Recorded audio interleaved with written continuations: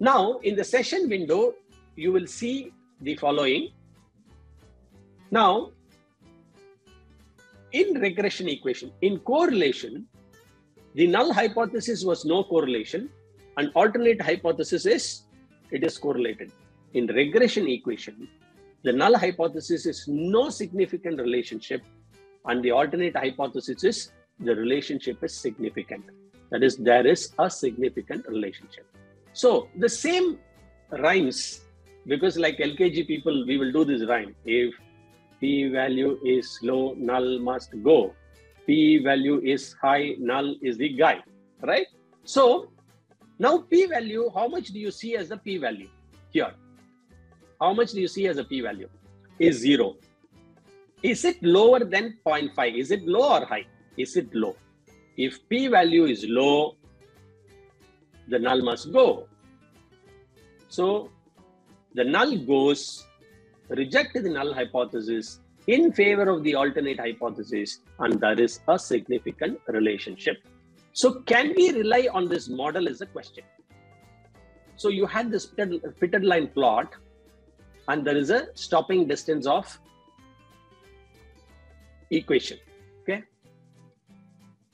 Now, if you choose the graphs here and four in one, and I'm going to explain to you some deep stuff, okay, which generally are not taught.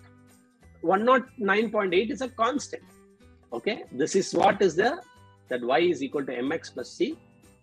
m is a slope. Here, this is the 5.909 is a slope. And we'll have to go back to colleges or schools, okay, to understand what is the constant, okay. So, we can make this four in one plot you need not remember this, okay? I can just show you in Minitab also quickly. I'll put Control E.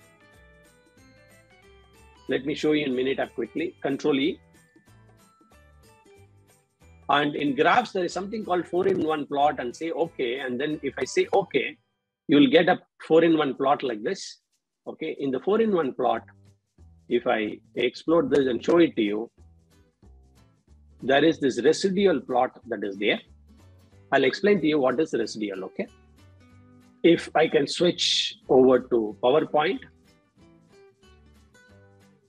the residual is nothing but the distance between, okay, the distance between this line and each of these dot is called residuals. All you have to remember is in this, this residual should show as normal for this equation to be valid.